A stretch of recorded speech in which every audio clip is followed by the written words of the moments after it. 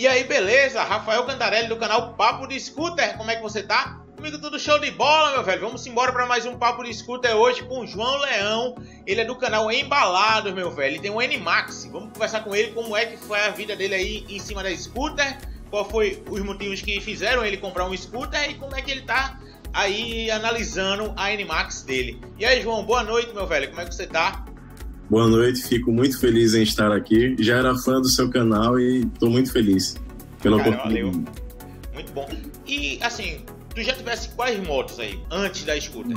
A minha primeira moto foi em 2007. Eu tive uma YBR verde musgo, né? Aquela que ficava meio escura à noite e tal. Ela tinha todo um, o charme dela. E aí, em 2008, eu acabei tendo que vendê-la. Pressão familiar, né? Mãe nunca quer que a gente ande de moto. E aí eu acabei cedendo essa pressão. Meu pai é, foi a única pessoa que me apoiou. Eu tenho uma conexão muito forte com meu pai por conta disso. Ele já faleceu, mas cara, moto acabou entrando na minha vida por conta dele. Então não há nada que me lembre mais ao meu pai do que as motos. Depois disso, 10 anos depois, eu comprei uma MT-03, andei 4, 5 meses e queria mais motor, né? Eu fui e comprei a GSR da Suzuki, a 750, a motor da mesma da SRED, né? E aí eu passei mais alguns meses, viajei pelo Brasil, é, entrei em confronto com Sem Terra na época que tava tendo os bloqueios na pista. E aí, como, assim, como é que foi isso aí? Então, eu tenho um amigo que comprou uma Triumph, né, lá em João Pessoa. Nós tínhamos que buscar essa moto, então ele foi é, pilotando a moto de um amigo, o amigo foi na garupa, eles foram revezando, enquanto cada um de nós íamos em suas motos, né. E aí o que que aconteceu? É, nós saímos muito cedo porque já tínhamos medo de acontecerem esses bloqueios. Já passando de Maceió, entrando em Recife, nós encontramos o primeiro bloqueio sério. O pessoal já tinha acabado de colocar os pneus, estava jogando gasolina sobre os pneus, mas ainda tinha deixado uma portinha, dava para passar. E aí a moto que vinha à frente tentou passar por cima assim que o fogo baixou e o cara arremessou a gasolina por cima dele. Quando eu vi o cara jogando a gasolina na moto do, do rapaz, eu pirei. Eu acelerei, tirei a minha moto de giro, o cara obviamente se assustou, né, porque foi de repente. Quando ele olhou para mim, um amigo meu passou, o cara que tava na garupa pulou para tentar conter o, o rapaz. Quando eu fui passar sobre o mesmo lugar, né, onde a chama tinha baixado, o cara me empurrou, cara. Eu tava, imagine você, né? Segurar uma moto de 215 quilos e alguém lhe empurrando, um cara grande e pesado. Eu consegui segurar, passei. Um outro amigo nosso levou um golpe de facão ainda. A gente tava de macacão, né? Pegou na proteção dele ele só não conseguiu escapar da muletada. Mas aí quando eles viram que duas motos já tinham passado e eles não iam impedir o resto do pessoal de passar, eles acabaram deixando o pessoal passar também. Esse foi apenas o primeiro bloqueio, né? Nós enfrentamos mais alguns depois, mais violentos do que esse. Mais ainda Só que mais, muito mais violento. Pessoal, infelizmente, é, eu não, não gosto de falar de política, até porque eu sei que tem gente que defende um lado e outro, a gente É, não, exato, não se aham. Mas tem coisa Mas- assim, que tem coisa que tá errado. Tipo, isso daí tá errado, velho. É o direito de vir do cidadão. Se você quer protestar, você tem que achar alguma coisa que vai fazer protesto com a sua causa. E não impedir toda uma população de transitar pelas vias, né? Isso eu acho errado. Foi justamente isso que aconteceu. No segundo bloqueio, a própria população, o pessoal que estava morando lá, eles indicaram uma via muito estreita por trás, via de barro, você imagina. Aham. Uma GS, duas Big Trails, uma R3 e uma S1000 para passar por esse barreiro aí. Foi, foi muito louco. Foi uma das melhores aventuras que eu já tive na minha vida. Tive uma multa desse dia pra me lembrar.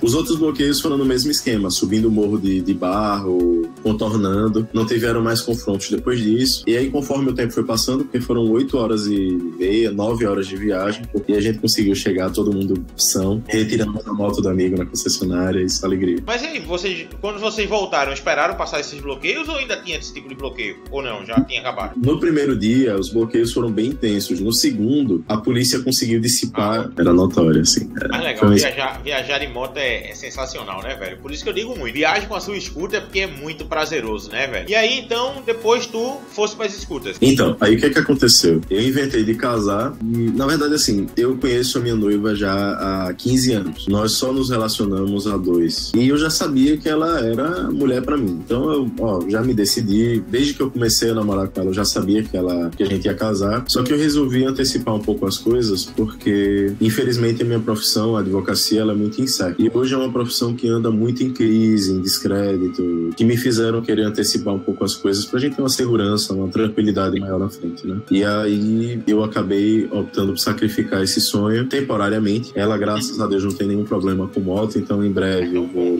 Ela só não anda, mas assim, ela não fiscaliza, não é aquela pessoa que cobra, entendeu? Mas graças a Deus, assim, dá, dá pra aproveitar os dois mundos. Eu tenho minha noiva e tenho, tenho a moto, e ela, ela só fica um pouco preocupada porque ela presenciou o meu segundo acidente e tomou conhecimento do meu primeiro também. Eu não, não escondo nada, falei pra ela, ó, levei uma quedinha boba tal. Mas eu tava pelo menos uns 150 por hora, né?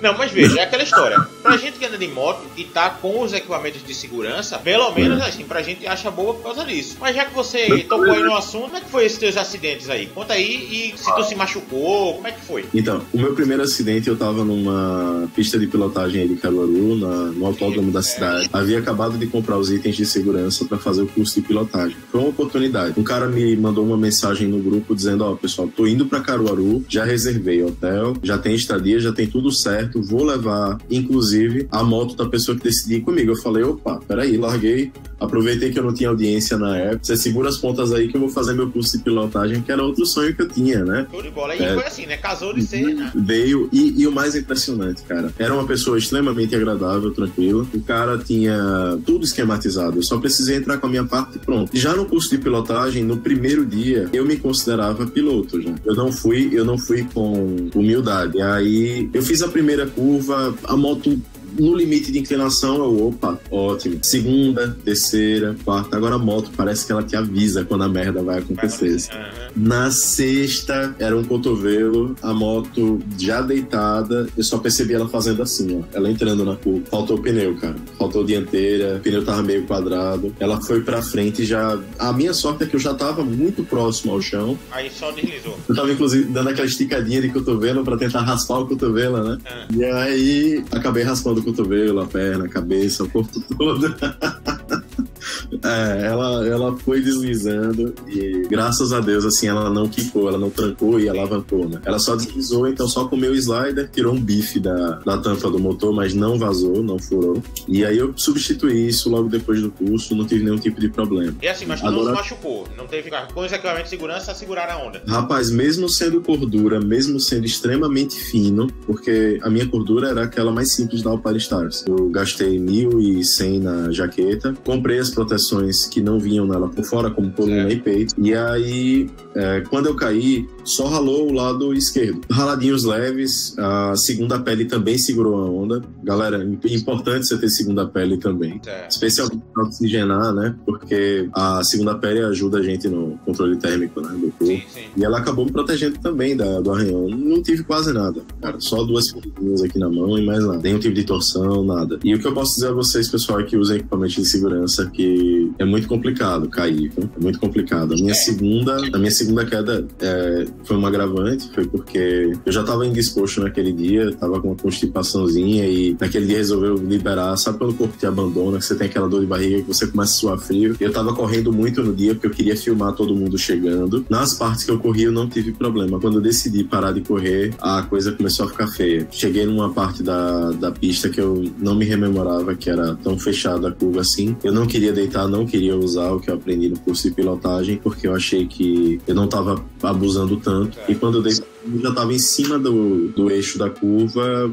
do ponto de, de curvatura e não tinha como completar o trajeto. E aí eu olhei para um morrinho de areia que tinha no canto e joguei a moto lá e acabei voando o barranco abaixo. Por sorte também, aí eu já tinha trocado, já estava com o macacão todo em couro, novamente com todas as proteções. A única coisa que me aconteceu foi uma pedra que estava embaixo do barranco que acertou o meu tornozelo. E eu fiquei uma semana mancando, mas graças a Deus meu macacão ficou sem nenhum tipo de arranhão. A moto, dessa vez, ela, o, o, por incrível que pareça, eu mandei checar alinhamento das bengalas, alinhamento do quadro, ver se teve qualquer tipo de torção, alguma coisa. Nada, cara. Banquinho de areia, travou, o banquinho se dissolveu e ela bateu numa pedra assim que caiu. Nessa de bater numa pedra quando caiu, aí foi a parte que doeu no bolso, porque acertou no eletroventilador dela. No o ventilador cuida do arrefecimento. Não era possível fazer a troca da hélice. Tinha que trocar a peça toda, 3.500. É, é pesado. Tem moto de alta cilindrada, é esse problema do custo, né? E essa moto ela teve um pouco de azar, porque assim, no primeiro dia,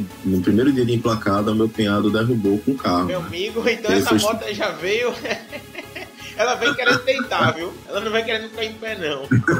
então, assim, é, por mais que tudo isso tivesse acontecido, a minha preocupação era o seguinte, ó. Eu não vou armengar, não vou deixar a moto de qualquer jeito pro próximo dono assumir a bronca. Eu vou fazer tudo como manda o figurino. Infelizmente, aqui na minha cidade, são muito escassas as oficinas que dá para confiar. Na época eu conhecia poucas também. E eu preferi, como a cidade é muito pequena, apesar de ter quase um milhão de habitantes que passam por aqui, eu, eu acabei não querendo divulgar muito isso. Levei na concessionária não autorizada, mandei trocar tudo que precisasse, mandei inspecionar com cuidado tudo que precisasse, olhar quadro, olhar tudo. Eles colocaram, promoviram ali, não me penou nada. A moto ficou normal, eu troquei, coloquei tudo original, já para não ter dor de cabeça, porque o meu plano era ficar com ela mais três anos. E aí eu acabei decidindo noivar depois disso. Minha noiva ficou meio preocupada com o acidente. E aí eu vamos, vamos focar agora no que interessa. Fiz algumas viagens com ela ainda. E aí, eventualmente, eu acabei focando os olhos na Animax e vendo a oportunidade de economizar dinheiro. É aí que, que entra a Animax na minha vida agora. É até bom, porque veja, só numa brincadeirinha dessa, desses acidentes, tu já pagasse praticamente do Animax, né? Cara, somando tudo que eu gastei com equipamento de segurança, com moto, com tudo, se eu fosse levar em conta os gastos de financiamento e tudo, eu teria tirado uma XR1000. É, eu gastei quase 70 mil reais assim, em um ano, comprando MT-03, comprando isso, essas coisas. Mas, assim, o que me levou a, a, entrar nas motos de cabeça desse jeito, gastando tanto dinheiro assim, é justamente as frustrações que eu tinha no trabalho. tava muito irritado, não tava vivendo, tava indo de casa pro trabalho, pra casa da mulher, e isso não, não tava sendo suficiente para mim. Aí eu queria explorar esse mundo logo antes de tomar uma decisão de virar um pai de família, eu tenho que viver, né? Então eu aproveitei isso. Bom, você já e... aproveitou e agora já tá também com outro direcionamento aí, né? É, cara. Então, como eu falei, meu pai e eu, a gente tinha essa conexão forte com moto. A minha primeira moto ia ser uma bis, por incrível que pareça, uma Cube, né? Uh, ele foi contemplado, minha mãe era contra tal. Na época eu ganhava por volta de 250 reais. Eu falei: Ó, você não vai me dar a bis? Tudo bem, tranquilo. É, é a opção de vocês. Agora eu vou comprar a moto com o dinheiro que eu ganho. A parcela é 250, eu ganho 300. Pode deixar eu pago. Posso a bronca. E aí eu já era universitário, é, Cheguei lá, comprei a, a moto. Eu, na verdade, aqui em casa eu falei, ó, mãe, eu tô saindo daqui para comprar uma moto que freio a tambor, ou seja, não vai frear, e uma moto com motor pequeno que não vai ser respeitada. Se você quiser me ajudar, só eu só quero o seu nome, só quero que você seja minha laranja. Ela disse, não, tudo bem. Aí foi comigo, eu entrei para comprar uma moto de 3.500, 4 mil reais, saí com uma de 7.200, partida Isso é muito legal. Lógico que eu fui pagando com o tempo, mas assim, só o fato da minha mãe ter se rendido e visto que, eu queria muito aquilo e ter, ter respeitado isso foi muito bom. E é o que eu digo, velho. O cara tendo uma prudência tranquilo. Agora sim, claro. Exagerando, pode acontecer um acidente. Mas, voltando sempre àquela história, ande com equipamento de proteção, porque o que, é que vai acontecer? Praticamente não tem problema nenhum. Vejo que ele caiu de duas quedas grandes, ele estava até com moto de alta cilindrada, com o equipamento de proteção não aconteceu absolutamente nada. Então, ande galera, mesmo estando na scooter, não é porque é uma moto pequena que você acha que não tem que ter todos os equipamentos não. A moto pequena você pode levar a queda do mesmo jeito. Então o equipamento é importantíssimo. Isso é verdade. Tem um primo que ele passou no meu escritório, né, um dia desse e me perguntou por que, que eu andava de luva dentro da cidade. Eu falei, ó, porque se eu cair em baixa velocidade, a primeira coisa que vai ao chão é a mão. mão. Aí ele falou, ah, é verdade, eu não teria quebrado o meu dedo no retrovisor de um carro se eu tivesse usando luva. Exato. Pois é. É porque tem muita gente que acha assim, ah, é uma moto pequena, então você não precisa. Não, velho, a queda é do mesmo jeito. Então... Cara, as piores quedas que eu já vi na minha vida, as piores, foram todas em motos de baixa cilindrada. Sim, Por incrível que pareça, as que tem moto. A maioria das pessoas que tem moto de alta cilindrada gastam equipamento porque sabe que qualquer coisa pode ser fatal, né? Exato, exato. Então, a grande preocupação da gente é em ficar vivo. Eu odeio preconceito em relação à cilindrada, porque eu acho que a cilindrada da moto ou a sua renda não vão fazer de você uma pessoa melhor ou pior. Não, de jeito nenhum. É, o que eu achava interessante é o seguinte, ó, numa moto pequena, você na saída de uma curva, se você acelerar com todo o seu punho, ela poderá distracionar, você pode cair. Certo. Se o pico estiver ruim, né? Se a aceleração for muito brusca. Numa moto grande, você tem essa certeza. Se você acelerar demais, ela pode estacionar até na reta e você cair, Sim. né? A GSR ela não tinha controle de tração, então poderia cair a qualquer momento, né? então você, você, já está bem mais consciente, né? Você já tem não. muito mais prudência, né? É, é como eu costumo dizer pro pessoal, ó, minhas quedas A primeira foi dentro do autódromo, eu eliminei o limite de velocidade, né? É. Eu eliminei quando o professor disse, olha, pode acelerar, vá à vontade, aqui o ambiente é controlado, coloquei até o limite. Tanto é que mesmo caindo, eu não, não tive nenhuma sequela grave. Na BR, cara, foi, foi um misto de coisas, né? Sim. Eu estava correndo um pouco naquele dia, estava é, um pouco preocupado com a embreagem da moto, que estava folgando também. Muita coisa na cabeça, distração. Sim, a distração e... até com a filmagem, que você gosta de dizer, galera. Se você quiser andar filmando, cara, esqueça a filmagem, primeiro é na, na segurança, e o que depois, o que ficou legal da filmagem, você edita e joga aí no seu vídeo. Mas assim, esqueça o foco na filmagem, você o foco é na estrada e vai filmando, vai filmando e depois você edita, né? Porque você tem muito mais segurança aí para não acontecer um acidente. Por incrível que pareça, no momento da queda eu não estava filmando. Uhum. Era o tipo de coisa assim que a bateria da minha câmera já havia acabado, não fazia sentido eu disparar muito à frente, porque senão o pessoal ia demorar muito para me alcançar. Andava rápido, dava aquele tiro, parava. Enquanto eu fazia isso, não acontecia nada. Mas uma, uma grande preocupação, Rafael, você me lembrou agora, eu ando num grupo aqui que tem muita R3, muita MT-03, eu ando num outro grupo que tem Big Trail. Todos esses grupos, cada um um tem um perfil diferente, né? Cada pessoa é de um jeito. Uma coisa que me preocupa muito é a galera que gosta de, de motovelocidade, que se inspira nos pilotos. E aqui, infelizmente, nós não temos autódromo, né? O autódromo mais próximo é o de Caruaru.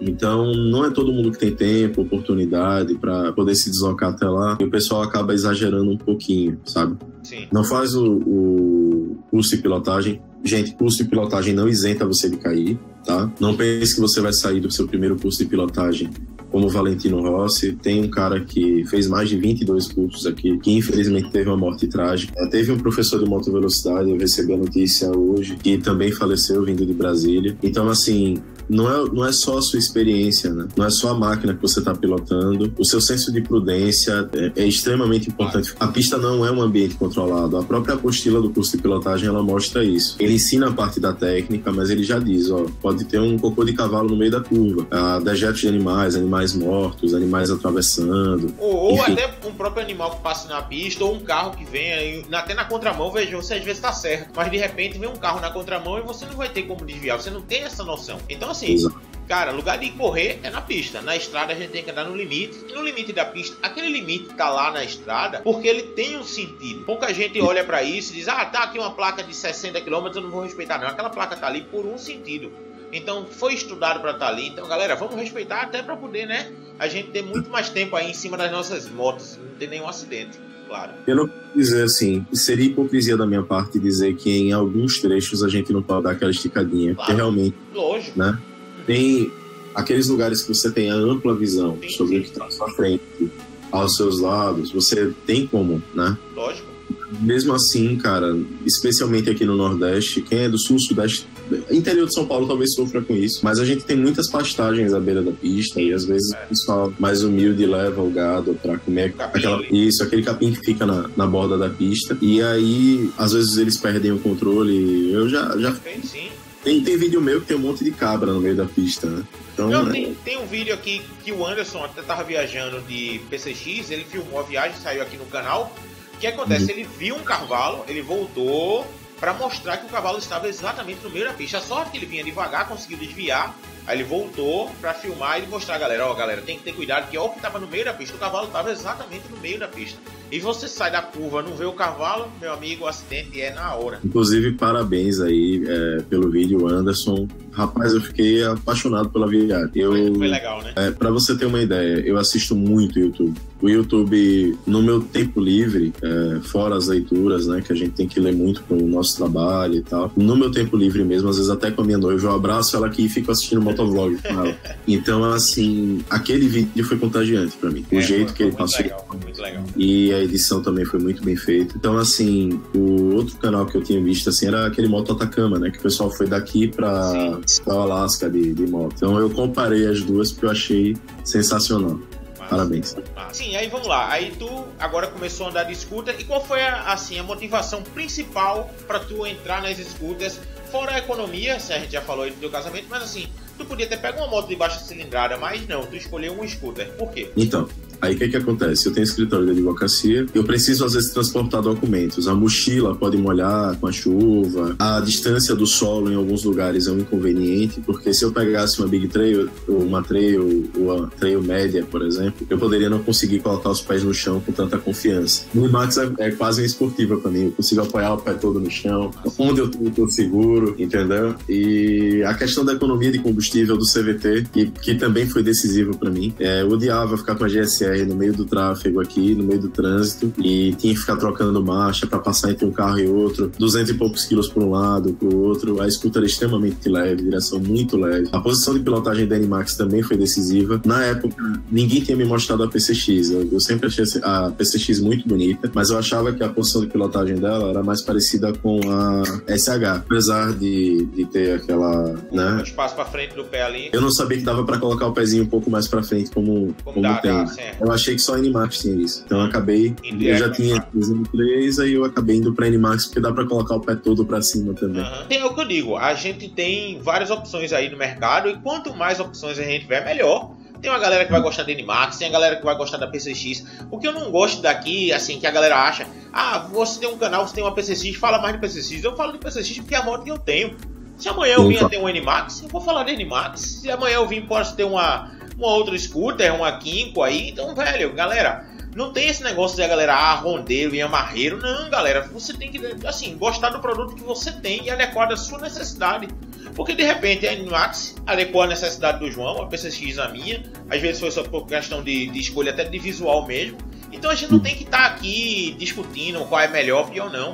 É melhor para você, né? Eu acho isso muito, muito bom quando não, não tem muito essa briga aí de ah, a minha marca é melhor, a tua marca é melhor. Galera, produto aí tá para todo mundo escolher. Eu até gosto dessa brincadeira porque parece rivalidade de time. Agora, tu, uhum. a gente tem que saber dosar, é, ah. porque, porque, tem gente que leva muito a sério esse tipo de coisa. E não existe, na realidade, no final das contas, a marca não tá ligando para nada de que você tá aí nessa, nessa guerra, não. A minha, a, o que, outra coisa que me levou a, a pegar Animax foram os vídeos que eu assisti. Né? Já havia assistido um vídeo seu também, um pouco mais antigo, de um rapaz que viajou bastante de Animax. Sim, do Lima. O Lima ele fez de São Paulo para cá. Na realidade, eu acho que a Animax dele é a Animax mais rodada do Brasil.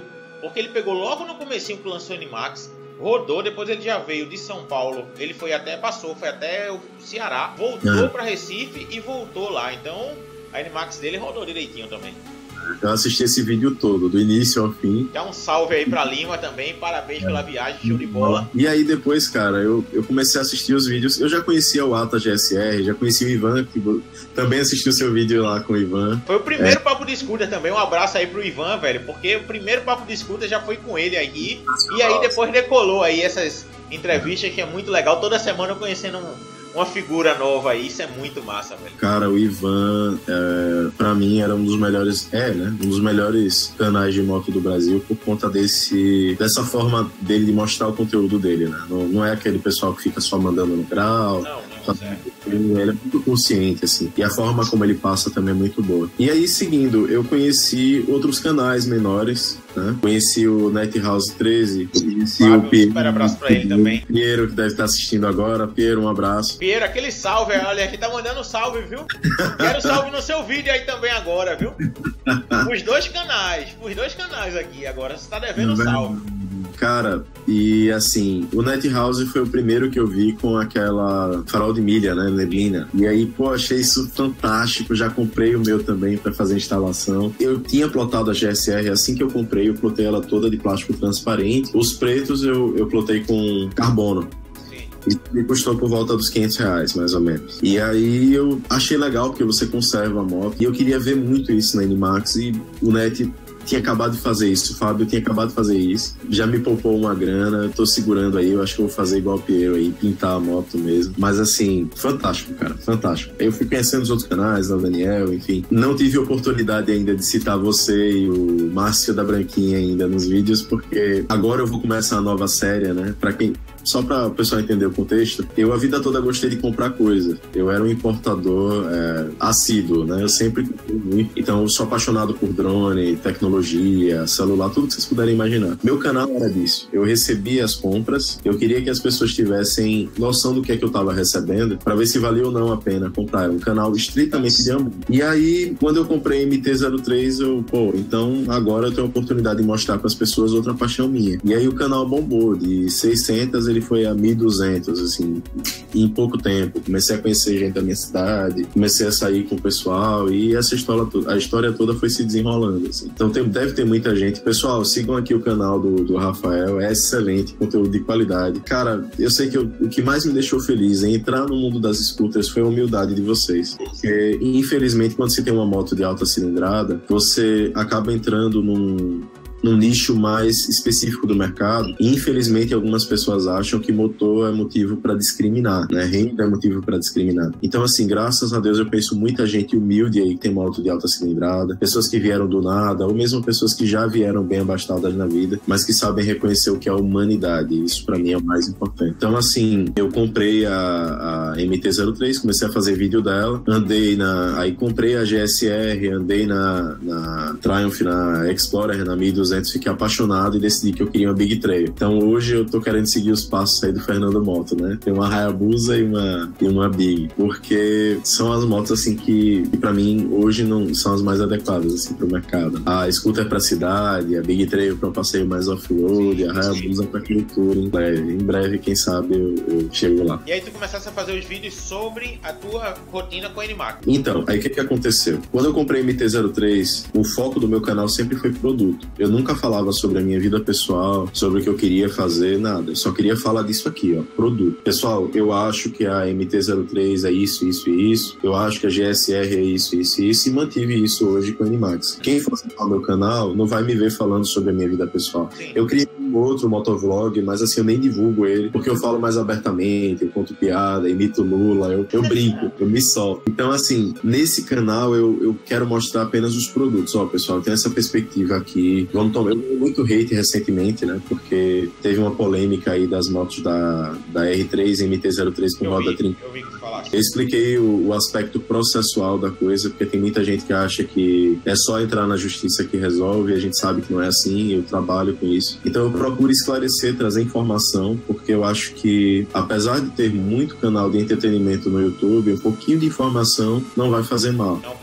Com a, a Animax, que foi o divisor de águas em relação a isso, eu percebi que algumas motos de alta cilindrada não dão visualização no YouTube, né? A Animax foi fantástico, porque assim que eu comprei, eu comecei a assistir os vídeos desses caras aí, Piero, House, enfim, vocês, e eu percebi que ela tem uma, uma facilidade de customização muito grande, cara. A PCX, nossa, muda banco, muda farol, muda e não é tão caro assim, entendeu? É caro porque a gente mora no Brasil. Sim, mas é acessível na realidade. É, o céu é o limite para sua criatividade. E aí eu comecei a fazer os vídeos sobre Animax e eu, poxa vida, eu quero falar agora sobre customização. Eu criei uma série, Animax como você nunca viu. Sim, eu vi. mas- Já, já existia vídeos aí de um rapaz que gosta de, de empinar moto, Salvador Amaral, enfim.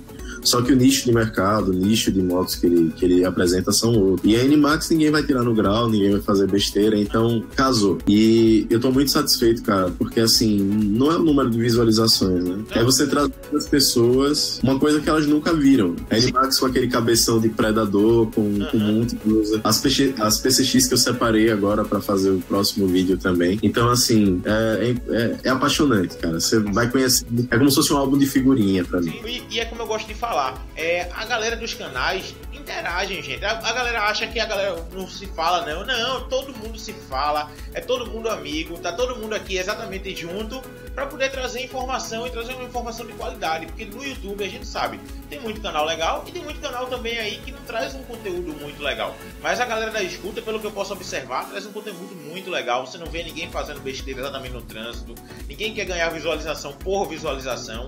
A gente tá aqui exatamente para descontrair e trazer uma informação de qualidade aí pra galera. E que eu, que eu vejo, todos os comentários nos canais sempre são elogiando. E aí a galera assim, muito boa mesmo, muito legal, velho. Quanto mais Existe gente os- tiver, melhor. Sempre existe aquela pessoa que vai lhe dar o primeiro dislike. Ah, é, esse pessoal não usa como termômetro porque dá trabalho fazer esse tipo de coisa. Teve um vídeo que eu fiz aqui que foi o da de uma outra scooter, né? Que eu, que eu inclusive aconselho você, se puder, faça o teste. Eu tenho interesse em a sua opinião. É a Lindy 55 da Suzuki. É, apesar de muito simples, é uma moto que eu, que eu gostei muito porque ela equivale ao preço dela ela entrega exatamente o que ela se propõe. propõe. Então é, é uma moto interessante para se testar. E assim, existe uma dificuldade, existe um trabalho, um tempo que você acaba sacrificando, mas a, o retorno que você tem é muito positivo, é muito bom. Financeiro, porque assim, canais do porte do nosso, infelizmente, não geram renda, não dá para viver fazendo vídeo do YouTube ainda. É, também não tenho muito dessa pretensão, assim, mas só a, a, ideia de poder conhecer gente com o mesmo interesse que eu, é, saber que nós não estamos sozinhos aí nesse mundo, é, é muito interessante. Eu acho que os canais que vão crescer mais agora no Brasil são justamente esses canais de escuta, porque as vendas têm crescido, as pessoas têm se conscientizado. SX virou uma febre, NMAX virou uma febre, tem tudo para continuar crescendo. Não, é, na realidade você vê as notícias é sempre assim, é, as escutas estouram 70% de venda a mais. Cara, o mercado de escuta só tem a de crescer. E outra coisa, uma coisa que eu vou dizer a você também é que os canais trocando, fazendo essa interação, criam essa amizade. Então assim, todo mundo é parceiro. Então é muito legal quando você, por exemplo, alguém vai viajar e tipo, você viu que o André Oara ele veio de, do Rio Grande do Sul para Pernambuco, ele parou na casa do Anderson, ele parou na casa do Márcio da Branquinha. Então a galera dando um apoio. Então você vê que a galera se interage e cria uma rede aí de amizade muito legal. Então assim, a amizade é até muito mais importante do que as scooters. Na realidade, essa amizade se formou por causa da scooter e que tá aí pra gente só aumentar. E assim a gente segue aí ampliando essas amizades aí no mundo das scooters, né, velho? Eu, assim, acho sensacional isso. E eu fico muito feliz justamente com aqueles dois quesitos que eu falei, né? A humanidade e o companheirismo. Sim. Eu não vejo o pessoal das scooters se ofendendo de graça. Eu não vejo ninguém querendo tirar racha com ninguém. É lógico que, assim, num ambiente controlado, num espaço fechado, dá para brincar tranquilo. É um, uma brincadeira saudável, leve, que não vai machucar ninguém. E, sem dúvida, cara, assim, é, algumas das figuras da internet mais legais que eu, que eu pude conhecer estão nesse nicho. Eu tô, tô muito satisfeito com isso. Massa, velho, massa. Depois eu quero marcar aí uma live com todo mundo dos canais aí. A gente vai marcar aqui um papo de escuta geral aqui. Vamos ver se a, vamos ver se a gente vai conseguir conversar, né? a gente vai marcar, vai marcar, vai ficar legal aí. Pô, João, velho, valeu mesmo. Muito obrigado por ter participado, ter aceitado aqui o papo de escuta. Teu canal é show de bola. Eu vou deixar na descrição aqui o canal do João para você acompanhar. E cara, vale muito a pena porque a informação sempre é de qualidade, velho. Muito obrigado mesmo por ter participado aqui do Papo do Scooter. E você vai ter outra oportunidade aqui também pra gente poder estar tá compartilhando, velho. Eu agradeço de verdade você ter vindo aqui pro Papo. Rapaz, eu agradeço. Pessoal, sintam-se livres para visitar o Embalado. youtube.com.br embalado. É, eu faço questão que os meus inscritos, eu vou mandar esse vídeo para todos eles, vou fazer referência sobre esse vídeo também. Se inscrevam aqui no canal do Papo de Scooter. O canal é um Papo de Scooter, mas ele não se limita a isso, né? São duas rodas, um coração. E eu, eu acredito que todos todos nós cresçamos muito com as informações que nós podemos absorver aqui. Seja você piloto de Big Trail, seja você piloto de esportiva ou até mesmo de scooter mesmo. Massa, velho, massa mesmo. Obrigado, João.